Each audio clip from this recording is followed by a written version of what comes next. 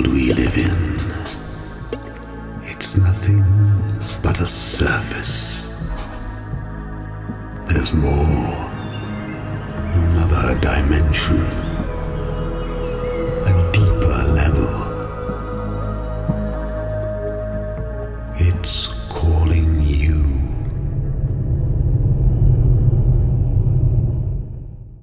Hum is a short sci-fi film which is inspired by a real-life phenomenon called the hum. It's a low-pitched noise that can be heard just by 2% of the population and has been heard in random locations across the globe such as Bristol and Taos.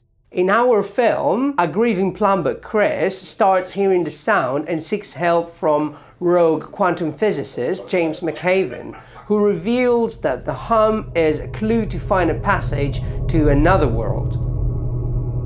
Parsley Productions have been looking to make the move from broadcast television into feature film production for quite a while. And when I read Stefano's script for The Hum, I knew that we'd found the right project. So the first thing we're going to do is make a short film version, a proof of concept, if you will, that will help us raise the funding for the feature. The film is mixing mystery, sci-fi, relationship drama, and it touches on really important themes such as death, grief, and the discovery of wonder in our existence. We've managed to attract an incredibly talented team to help make this film.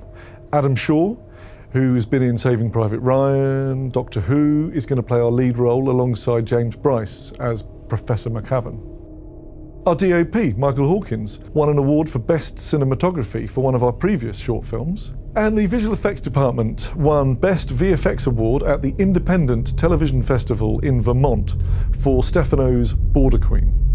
So here's Hum for you. Well, if you like the sort of films like Pi, where ancient mysticism is mixed with sci-fi, or if you love Stephen King, where the supernatural gets into everyday life routine, uh, if you love sci-fi with a drama with something to say, then yes, Hum is definitely for you. So come on board with us. We've already managed to cover 80% of the budget for the short film through the partners who are helping us to make it.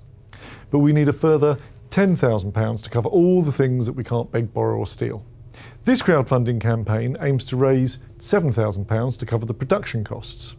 Now, I'm a big fan of crowdfunding because it allows us to build a community around the project that will come with us all the way from this point to the release of the final feature film. So we want your support and we want your feedback. So please get on board at this early stage and help us make Hum.